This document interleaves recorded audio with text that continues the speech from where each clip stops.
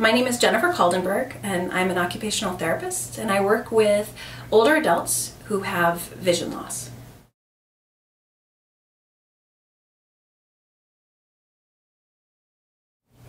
An occupational therapist can do many things um, to assist someone who has had a visual impairment. When I go to some a client's home, um, oftentimes I'm looking at the environment and I'm looking at how the environment may either help someone do the activities they want to be able to do or maybe make it more difficult. So I might look at the contrast. So are are things easy to identify? The wall from the light switch cover, or you know, how's the lighting? Does the the lighting um, is it bright enough to be able to um, identify items on a table? Um, I'm looking at safety. So, is there um, a lot of clutter in a hallway, um, or are the walkways wide and clear so that someone using a walker can easily get down from the, the living room maybe into the bathroom?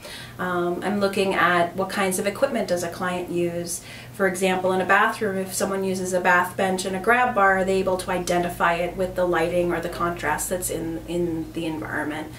Uh, I also teach a client maybe some compensatory strategies so that they're able to rely on other senses um, than their vision. For example, sometimes I use little marking dots uh, or bump dots um, for marking appliances so that instead of using their vision to identify 350 degrees on the oven, they can simply just feel for that marking um, so that they don't have to necessarily bend and kind of um, put themselves at risk for an injury because they have to get closer to um, the object to be able to see it.